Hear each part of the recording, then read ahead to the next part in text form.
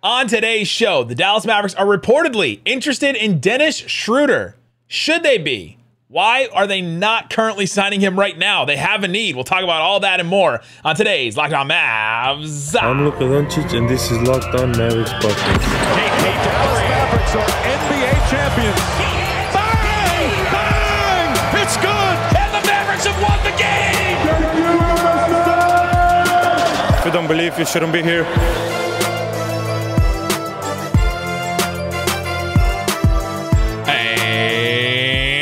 Welcome. You are locked on to the Dallas Mavericks. My name is Nick Angstadt, media member and NBA channel manager for the Locked On Podcast Network. Thanks for making Locked On Mavs your first listen every day. We are free and available on all platforms, including YouTube, where the best way you can help us grow the show is to comment anything below. Give me a me Slovency below. Give me a your team every day below. Comment any of those things. And also let me know should the Mavericks sign Dennis Schroeder? If you weren't Nico Harrison, would you sign him right now? Give me a yes or no, and then why why you wouldn't do it. Uh, and joining me, friend of the show, host of the Locked On NBA Big Board Show, draft expert, and just overall NBA like junkie, Richard Stayman, Mavs Draft on Twitter. Richard, what you got for me? Dude, it's uh, it's nice to be here. Not talking draft. It's a little bit of a change up for me. It's uh, it's a little different. Recording in progress. But you have, but you have uh, a, a wide range of of NBA knowledge. I always see you like tweet. You like are one of the people that anytime I go on Twitter, I'm like, damn, I gotta watch more NBA games because Richard's always tweeting about about games all the time. It's like a different game every night. And I'm like, God, he watches more games than me. It's one of those things as NBA media people we, we keep track of, like who we, who we think watches more games. We, we think about it with the takes. We think about it when we are on Twitter. It's all it all comes back. But today we're gonna get into Dennis Schroeder again. We talked about him a little bit on yesterday's show, but I think it's a bigger topic because I think it it, it stems from a couple of things with the Dallas Mavericks, and it'll tell us a couple of things about the Mavericks. How much do they want to risk? How much are they desperate enough to need somebody like Schroeder? And what is he? what what is he and how do they how do they evaluate him? And that's what I think a couple of things that the Mavericks are kind of weighing right now over in Europe, seeing him with the German national team and trying to figure out if he's a good fit for the roster. So we'll talk about that. And then we'll get into uh, Mark Stein wrote about this, and this is the reason why we're bringing it up because Mark Stein said that, that the Mavericks are interested in him, and that there's a couple other options that they may be considering as well. Eric Bledsoe, Campazzo, Elfrid Payton, and maybe an old friend. So we'll, we'll talk about some of those other guard options the Mavericks, and then the option to keep the roster spot open. So there's a bunch of different ways the Mavericks could go here, and so let's get into it. Um, let's start with this uh, Mavs draft. Richard Stayman. Would you sign Dennis Schroeder right now? You're the Dallas Mavericks, 15th roster spot open. Knowing everything we know about Schroeder, would you and what the Mavericks need? Would you sign him? Yeah, I think if you look at the last guard on the roster, being Dennis Schroeder. I don't even think he's the worst guard on the team. And when that's your last signing, it's probably pretty good because that means you're upgrading your what you already had in place. Like for me, I would rather have him than not only Frank Ntilikina, but also somebody who's no longer on the team. Pretty much who I consider him replacing the roster spot of is Trey Burke. Yeah. Major upgrades over both. You have another guard that can finally play, maybe not as good as Jalen Brunson, but you could find somebody to split those uh, minutes with with him. And that's the thing. Like you start there, right? You say, okay, if I'm just going to take it at an analytical point of view, take it as a, you know, kind of 2K where you're like, all right, what are these ratings? Who are these guys? And how, how can I get the most talent on my team? Which is, as a draft person, that's how you look at things. Like, how can I get the, you know, the most talent on my team? How can I grab a guy that's going to fill need that I want, or it's going to give me the type of of player that I want, or the level of player that I want? And it makes sense then. So in that sense, I start to think, all right, why haven't they done this yet? Like, this is such a slam dunk. He's played with Dirk before. I know that there have been rumors that Dirk didn't like him, but I've seen other reports that they were fine and, and they've been cordial back and forth. And like, I don't know. I didn't find a definitive report that says that he hated Dennis Schroeder. He was like a cancer in the locker room or anything like that. So send it to me if you've seen it because I looked for a while yesterday to try and find that.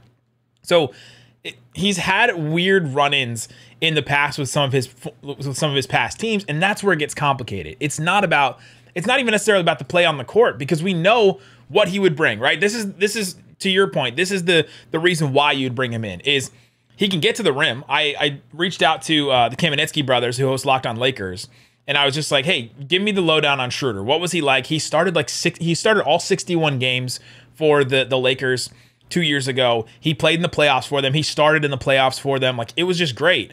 It was like a great fit for them. And I asked him about him, and Kamenetzky said, you know, he was the probably the best like driver on the team. Like he was the best guy at getting to the rim on the entire in the entire team.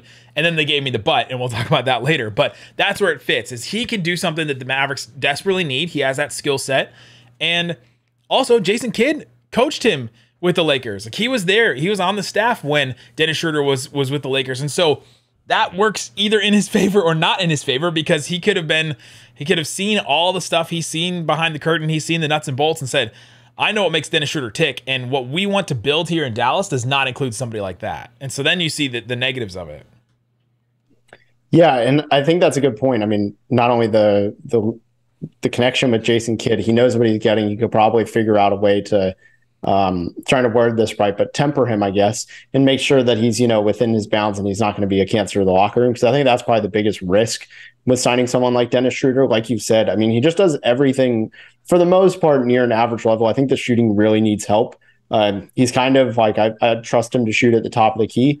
Outside of that, I really don't want him shooting threes. But yeah, the, the Mavs. I mean, how many times have we said it over the last year? They need more slashers. Even after the the Spencer Dinwiddie trade, they need more guys that can easily get to the rim and draw fouls. And Dennis Schroeder will do just that. Like he was about an average finisher at the rim, slightly below average. For a guard, he was roughly right there. And he, I mean, he draws fouls. Like he's always going to be good for three a game. Like that's consistently been his number three free throw attempts a game. And that doesn't include the fouls drawn elsewhere that aren't shooting fouls.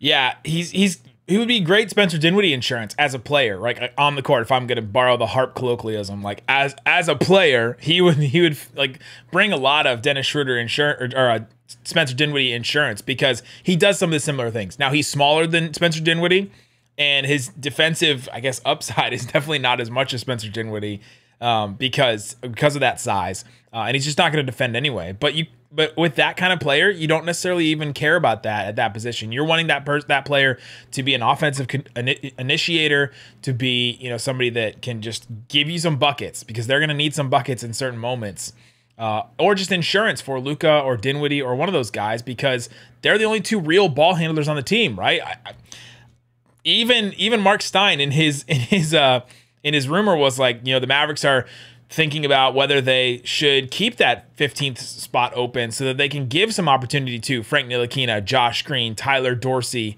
who's playing really well. Like even you know J- Jaden Hardy wasn't mentioned this, but uh, Greg St. Jean even mentioned Jaden Hardy to us when we were talking about if they need another ball handler. So he's definitely a better option than those guys, but the Mavericks may want to keep those options open. And uh, to keep those options open to not sign Schroeder is a bad sign for what Dennis Schroeder could bring to a team, right? Because there's a reason he hasn't signed with anybody yet. Yeah, and you know, I think you bring up a good point. I forgot that Jaden Hardy. Uh, I sometimes I just forget the depth of this team. Well, um, well when, thinking, when, there's a draft, like when the draft is done, it just completely goes out of your mind, and you focus on the next one. Like Watching, exactly. So I just kind of Raphael work is pretty funny in that sense. You're like, I'm done with Raphael. Like two days before the draft, was like, I'm so done with this draft, and I'm ready to move on to the next one. yeah, it, it, doesn't even have anything to do with. I mean, like, I just straight up forgot because I'm looking at the, like Mavs last season roster. And I'm like, okay, I know they added Christian Wood and whatever. Yeah. So I'm trying to like subtract, and then I'm like, oh wait, they did they added a draft pick, but you know. I would rather personally have Dennis Schroeder be your third point guard, uh, including Luka and Spencer Dinwiddie, over somebody who was an inefficient guard in the G League who didn't create a ton for others. I mean, just you look at an NBA ready, like the difference between an NBA journeyman yeah. and someone like that, it, it is stunning. Like obviously, Jaden Hardy's trajectory is hopefully up, whereas Schroeder's is kind of flat or declining in a way, but he's still young. Um, you look at the assists. I, I just I'm going to use a harp uh, line as well at this juncture in the offseason. yes, yes. like, what what are you going to find better? Because other people, you know, a lot of people are like, oh, well, you could trade, but it's like, what do the Mavs have? Because yeah, Josh Green is probably their best trade asset right now. That's a young player, I would argue. Um, I mean, I guess Luka technically, but like, well, yeah, Luka obviously. I don't like, think they're moving. Like him or Hardy or like I don't know Dorian maybe. But like none of these guys are going to move, and Dorian can't even be traded. I don't think for a year. So like, what are you going to do with these guys if yeah. you move any of the rotation players? You automatically are taking a drop off. So you almost have to resort to signing. And then, I mean, really good option is potentially even just building his value back up, right? Like the same way in I mean baseball, that's a common thing is signing these guys one year deals, trade them at the trade deadline. Even if you're like a winning team, they'll sometimes dump them. Maybe that's what happens with Schroeder. I think it's just a good investment personally to sign him, and he's Well, still under thirty. some people have even said that that's what the Mavs might do with Christian Wood, right? So that's Yeah. that's the thing that takes me to this next thing is why wouldn't the Mavericks do this and why haven't they done it so far? I've talked about this a little yesterday, but I think we need to talk about it a little more. Why have the Mavericks not signed Dennis Schroeder? Because it's such an easy, like, yes, if if you look at the what the Mavericks need and what he could bring talent wise, why did not work out? I asked a bunch of guys that used to cover him, and they'll give me the, the whole lowdown, and we'll talk about it with Richard coming up. But before we do, let me tell you about Built Bar. It's protein bar that tastes like a candy bar. They're absolutely delicious. Uh, I eat them all the time. They're they're so good. The brownie batter puff is my favorite. It's a protein bar with like marshmallow fluff in the middle of it. 100% chocolate around the outside, 140 calories, 17 grams of protein, 7 grams of sugar. They have a ton of different flavors. They're like always coming out new flavors. Strawberry came back.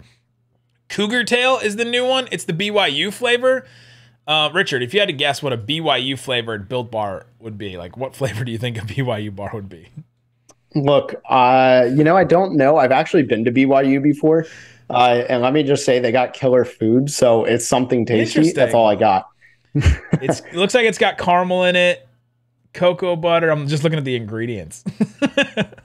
uh, but yeah, natural vanilla. Okay, so there's some vanilla in there. So anyway, it's like a mystery flavor. But you can check that one out. Check out all the other ones. Use the promo code locked on 15. That's locked on the number one five. It's built.com. Again, locked on 15 to get 15% off your entire order. All right, Richard, we're continuing our talk about Dennis Schroeder. You gave me the this is why they should do it, right? And and I would agree with you on a certain level.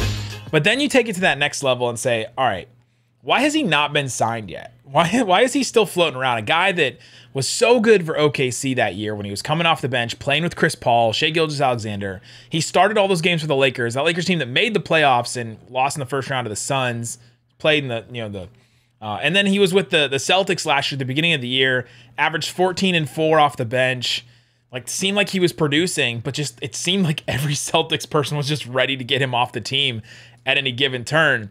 And so I went back and asked some people. I was like, "Okay, what's the deal with with Dennis Schroeder?" And so I asked the Kamenetzky brothers, Locked On Lakers, and they said, you know, the he, Brian Kamenetzky said the two questions I'd ask is, what do you want him to do, and how important do you need him to be? Not sure I would re- I would be in the relying on Dennis Schroeder business at this at this juncture if we're gonna bring back the harp, the harpism. Uh, so Richard, answer those two questions. What do you want him to do, and how important do the Mavericks would they need him to be if they've just brought him in right now? I think the answer will kind of overlap. I mean, I just want him to be a, a facilitator, connecting guy, somebody who can have the ball in his hands, get to the rim like we talked about before, also be able to just find shooters and off ball movers, right? Like find cutters. Because Yeah. while Luka Doncic does that, I think um, a lot of times it's set players or or just straight up pick and rolls is where he finds he finds you know he's double teamed in the right wing, kicks it out to the left corner, boom, Dorian's open for three, or Maxi Kleber off a double pick and roll, or he's going to the lane pick and roll. Whereas Dennis Schroeder, I, I just I personally don't feel like Luka looks nearly as much as a lot of other guards for guys coming off of screens, uh, off ball. And I think that would be something. I mean, that's a lot of what Dennis Schroeder has been doing in Europe for Eurobasket and World Cup qualifiers, especially Franz Wagner. I mean, my goodness, like Franz is one of the best at that, and that is like a match made in heaven for that. That's why his assist to turnover ratio is over two. He has 55 assists, 25 turnovers in in both of those events, and Franz plays a big part of it. You look at how he finds those guys off ball. I just want him to get assists. Like at some day, like at some point, you know, a lot of people say like, oh, the stats and eye tests, like a lot of times they don't match up. Sometimes just getting assists really does make the team better. It's really not that complicated a lot of times. Well, when you get an assist, you score as well. So like- exactly. So if he's if he's able to, even if it's not like he doesn't have to be threading the needle every every play, just like hey, keep the ball flowing and it helps the movement of the offense. I think uh, for the last few years we've seen a lot of stagnated offense where guys are just sitting waiting for Luka to do something. yeah. I think it, uh, it you know kind of uh, motivates everybody else off ball to be active, and I, I, I like that. So I asked John Karalis, Locked On Celtics host, about Dennis Schroeder last year, and I and every time I checked in on Locked On Celtics and would listen to him, he would talk about, oh, Dennis Schroeder is just holding up the offense and he's just doing this. So I asked him about it, and I said, "What's the? Give me the quick explainer on on Schroeder." And he said, "Slow, didn't push the ball, ball dominant. He was also the best penetrator, but he was also kind of going for his own too often. And here's the thing, right? You want him to be going for those stats because you want him to produce, but you also don't want him to go too far to where he's all right, I'm in a contract here. I turned down that 75, 80, 90 million dollar deal that the Lakers offered me, and I want to recoup that in some way. So now you're in dealing with a guy in a contract here that would have the ball in his hands and have the opportunity to break off from the offense, to do his own thing, to play, to go rogue. And it seemed like he was doing that with the Celtics, and he would just go for his own stats. And you know he he can do stuff on the court. He can he's the best penetrator on the on the Celtics what John Karalis said. Like that's a big compliment. But when you're just doing that and just pushing for your own too often, it takes away from the team and it takes away from the two words that Jason Kidd wanted the Mavericks to be all about last year was chemistry and accountability. Those are two things that made the Mavericks who they are and made the Mavericks a team that made the Western Conference Finals last year. And so that's what you're deciding. All right. Can we take a risk? With Christian Wood. We feel like we can. We'll trade we'll trade our first round pick, we'll trade all these, you know, expiring contracts and we'll bring in Christian Wood. We feel like we're good with that. Him in a contract year. Now you're going to do it twice with with Dennis Schroeder too. Like how much are you willing to to bet on the infrastructure that the Mavericks just set last year? They just got that set. They lost Brunson who was a guy that kind of you know, held some of that was the glue that kind of held some of that together. They still have glue pieces, right? Obviously, Dwight Powell and Dorian Finney-Smith and uh, Reggie Bullock has kind of become that. Like they're they're glue guys on the team for sure. But are you willing to take that risk with two different guys now? If you bring in Schroeder, and I think that's the question the Mavericks are answering. And at this point, the answer's been no. We're not wanting to do that. Yeah, that's where the kind of you have to draw the line, right? Because you do want somebody who's good but not explosive and a risk to just the chemistry and falling apart. You need somebody who's going to keep everything afloat and not a risk to sink the boat and throw everybody out the window, you know, with them or keep them on the boat locked in kind of thing. And, uh, or in, I guess in this case, locked on. Am I right? Oh, uh, but, no, no, no but, Richard. Satnam shame. but like that's the that's the hard part with uh with Dennis is like yeah you do want him to get his stats but you also don't want him to be this guy who he is stat chasing because in a way, in a way, he kind of has become that over the last couple couple seasons. I mean, the Houston stuff, I'm not going to blame him. He was traded there, but like he totally was out there to get his own assist. I mean, like it's not his fault he got traded of all places to Houston for yeah. Daniel Theis. Like that's that's not his fault. I'm sure he would have been a lot different, but the funny at thing the is, same time, can, can he go for himself with helping the team long term, also looking out for himself. The funny thing about Houston is that Jackson Gatlin, locked on Rockets host, said that he was surprisingly good, that he was like surprised about Dennis Schroeder and how good he was and like what he brought to the team. And I found that really interesting the, the two different perspectives of the Celtics host that's like, all right, this is a team that expects to win and, and eventually went to the finals, and the Rockets team, like, all right, these are our expectations go out there and have some fun. Like we, we don't really even have a defensive plan necessarily.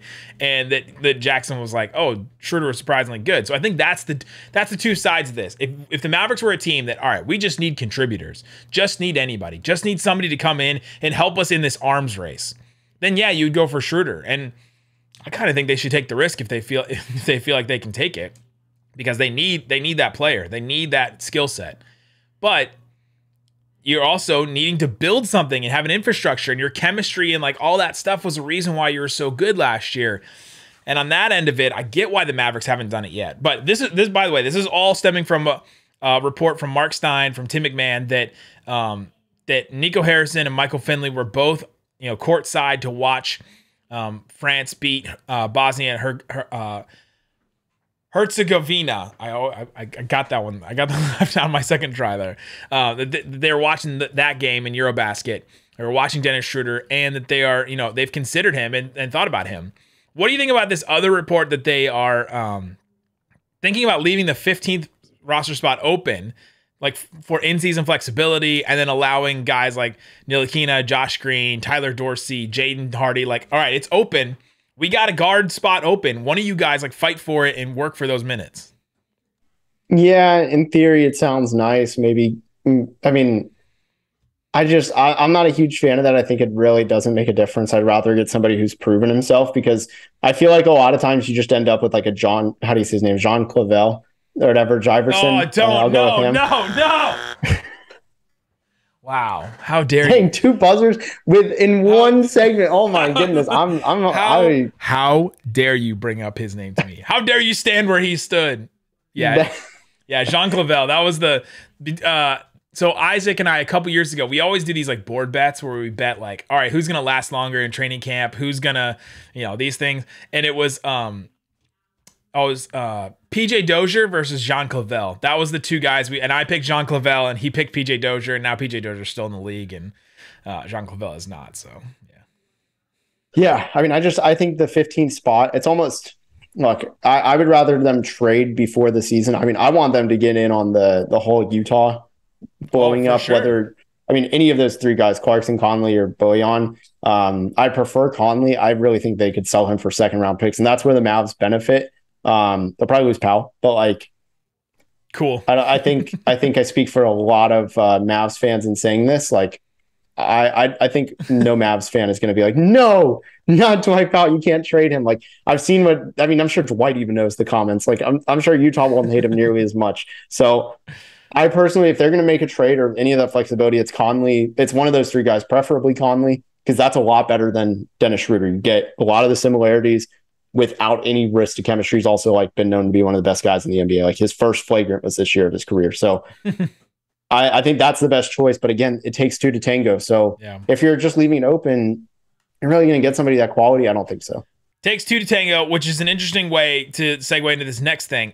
Dennis Schroeder has to choose the Mavs too. So coming up, let's talk about his side of it. What are what could the Mavs offer him that would make him want to come to Dallas? And then Mark Stein mentioned a couple other guys as well. Eric Bledsoe, Elfrid Payton, a couple others that the Mavericks could be targeting as well. Let's talk about those guys coming up. All right, Richard, we're continuing to talk about Dennis Schroeder. The Mavericks' 15th roster spot is open. They need another guard. They've been trying to figure out who it is. They were reportedly, you know, hanging out and watching Dennis Schroeder play for Germany in Eurobasket. And Dennis Schroeder has to choose the Mavs too. This is a whole other part of it. And this is the thing that drives me and Isaac the craziest during free agency. Why did the Mavericks not get like Jaden or uh, Jae Crowder? Why couldn't they have gone to get this guy? And got, why did they get this guy? Well, the, the player has to choose the team too. Like the players have the most agency that they've had in a long time in the NBA. Guys like uh, Cam Reddish are like asking for trades now. That didn't used to happen where a guy like on that level was asking for a trade. And so now, like Dennis Schroeder has to choose the Mavericks too. It happened with Goran Dragic. Dragic has to choose the Mavs as well. The Mavs offered him a certain you know role, whether it was his you know what what Dragic said was like a every five days type uh, player or, or role or something like that off the bench. Uh, whether it was that or not, they offered him some kind of deal. He didn't want it, and then they, he moved on and went to Chicago, where they lied to him and said that they they have 20 to 25 minutes for him off the bench, which I don't see, and our Locked On Bulls guys don't see for him either.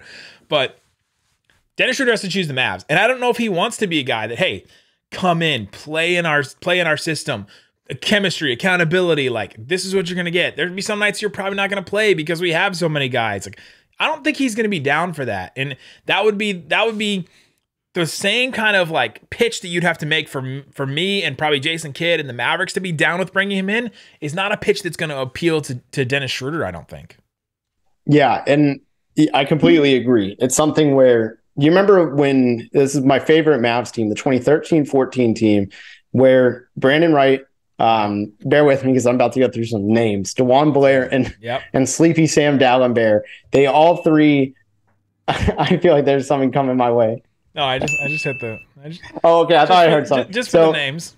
all three of them, um, they had to. It was some nights one of them wouldn't play. Even Brandon Wright was getting DNPs, and would Dennis Schroeder accept that? Also, one and I don't think he would personally. No. Also, one especially on a one year deal, prove it deal, no way.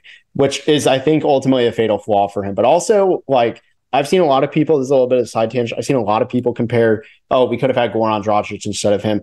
At this point, like maybe I'm just looking way too much of this in the regular season lens. Availability matters. Like Goran playing once every, like pretty much twice a week versus Dennis playing every single, like I mean, 70 games. It's a difference. Like I would safely take Dennis on that. Like if it came down to the two, give me Dennis. I don't, I don't care if the playoff difference is slightly better. At some point, you got to get there too. One thing I, I'm gonna put on here. I'm gonna I'm gonna put on my conspiracy. I think there's a chance. There's my conspiracy music. I think there's a chance the Mavericks already have a deal agreed with Schroeder that they were there to see him to like support him, and that's why they were there. Because like they're not scouting him. Like, let's be honest, they're not scouting him in Europe. They know what they're getting. They know what they're getting with Dennis Schroeder. They watched him. They played against him. Like, they've seen enough of him. Like, they know they're not going to Eurobasket to like sit courtside for Dennis Schroeder to like go watch him. They know what they're getting, but they are there to support him because they have a deal in place in case this Jazz stuff doesn't go through. If the Jazz stuff doesn't go through, like, all right, we don't get Conley, we don't get Bojan, we don't get Clarkson. For some reason, all that stuff doesn't work out. The Durant stuff already fell through, so we're not getting anybody from that. Then we bring in Schroeder. And that's my conspiracy theory.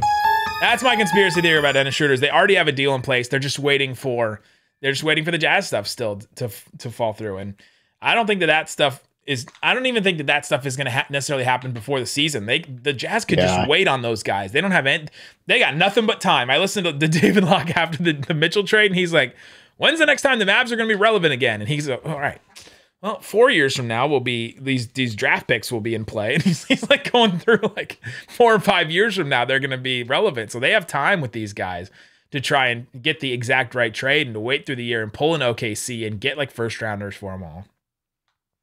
Yeah, and I mean, like you said, I doubt they went out there. To, I, I could see it. Uh, I doubt they went out there and they're like, you know what? I need to be sold on him. Let's watch Eurobasket. Let and me like, see you him know, in a just, Germany jersey instead of okay. Yeah. how he does in the national version, like with Franz Wagner. Like, yeah, I I'd love to believe that to be the case, but they have enough NBA intel on him. Like, I I could see something like that. I I think nothing formal on his end, but I think they they probably have connected for sure, saying, oh, hey, like yeah. we want Conley or whatever, but in in case that does fall through, would you be interested in being an insurance come training camp? We'll you know like in two weeks or like with. I think personally, I think not only will Dennis Schroeder sign by next Monday. I'm forgetting what day it is. Um, I keep Monday. thinking like that the week started two days ago. So um, like I think personally, I think he's going to sign by the middle of like again next week, and also I think Conley will be the first traded. And I think I'll, I think all of it's going to happen pretty quick before training camp. Mm. I'm I'm down for that. I'm ready for it. And I hope the Mavericks get one of those guys because they still do have a need. Let's not forget in all this, they still do have a need. And if they just don't feel good about Dennis Schroeder's vibes and they don't bring him in, then could be another could be another missed opportunity. Here's some other ones that the Mavericks uh, could other players the Mavs could uh, look at as well. These are available backcourt free agents for Dallas to consider. I don't think Mark Stein was saying that these guys like the Mavericks are even looking at these guys, but he mentioned their names, and so there's there's probably a connection somewhere. Maybe it's just the agent talking to Stein and saying like, "Hey, put our name out there so that maybe we get some look from some of these teams." But uh, Eric Bledsoe, Campazzo, Elfrid Payton, and then former Mavs draftee Dennis Smith Jr. Let's just go through these names, starting with um, let's just start with Dennis Smith Jr. Uh, what's your thoughts on him? How he's looked for Portland and some of these other teams, and uh, him as an option for the Mavericks? Yeah, no, he's not an option. Um, with all due respect, what's he done on a winning team to like I, I just I think at some point you got to close the door. Like why him? I've seen people say, "Oh, yes, the best upside," all this stuff. Is it realistic? Like, is he even sniff backup point guard? Like, I genuinely don't know if he's better than Jaden Hardy. That's my that's my thing. Is like if you're gonna do that, if you're gonna do that like with Dennis with Dennis Smith Jr. and we love Dennis Smith Jr. Loved covering him, like loved interacting with him as a person. But to bring him back in as a player, I'm like, I'd rather just give those whatever minutes we're gonna go to to Dennis Smith Jr., to Jaden Hardy, or to even to Frank Ntilikina, or even Tyler Dorsey, who's like lighting it up for Greece right now and is an incredible shooter and at least brings one real like NBA skill on the court. And so at, at that point, I would rather go with this hodgepodge of these other guys that the Mavericks seem to be looking at right now if they don't sign anybody else. Uh, what are your thoughts about Eric Bledsoe? Also, pretty hard pass on him. Uh, that dude is declining fast. Yeah, I, I don't know I mean, for anybody who watched him in New Orleans, it was it was. Y'all remember? Uh, do you remember the game um, in the playoffs? Eric Bledsoe. I, I can't really paint the picture. I just remember Milwaukee had a chance to win against Boston. Dude made like one of the dumbest mistakes in the play. I can't remember these specifics, but like it sounds on brand for him, right? It was every single play in New Orleans was that. Like his turnovers per game really like I don't know how the number is so low. He had 1.6 in 30 minutes a game, which sounds really good but like the turnovers were not reflecting how terrible of a decision maker he was. I don't know why he had so much trust. He's just falling off in a lot. And then also this last year with uh, with the Clippers, never played for the Blazers or anything after the trade. Um, but like, uh, what did he do? I, I, genuinely don't know. Like, I guess he's still okay on defense. What does he bring? Yeah, he's never been a shooter in the NBA, so you're like, all right, he's not bringing that to the team. He's a little undersized, but his athleticism has, and especially strength, has been what's kept him in the NBA. Right, that wingspan, all that stuff has kept him in the NBA, and he was a real contributor for that Bucks team a couple years ago, and started a bunch of games for them, started in the playoffs, and all that. But yeah, that decline for those small when we when we talk about small guards declining, and it's usually talked about with Chris Paul, and that doesn't happen because he's just an otherworldly athlete and player and all that, but when we talk about small guards declining, it's the Mike Conleys, it's the Eric Bledsoes, it's the especially guys like that, uh, and Eric Bledsoe especially that relies on athleticism.